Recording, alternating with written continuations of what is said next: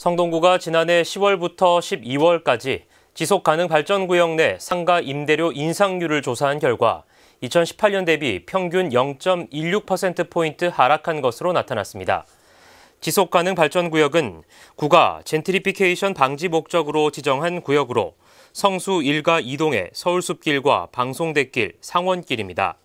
이번 조사 결과에 따르면 해당 구역 내 전체 임대료 인상률 평균은 2.37%로 2018년 대비 0.16%포인트 하락했고 평당 임대료는 9만 8천 원으로 2018년 대비 1.45% 증가했습니다.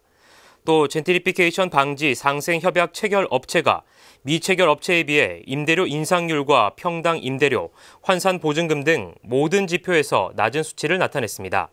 특히 상생협약 체결 업체의 평균 영업기간은 75개월로 미체결 업체 평균인 56개월보다 19개월가량 긴 것으로 조사됐습니다.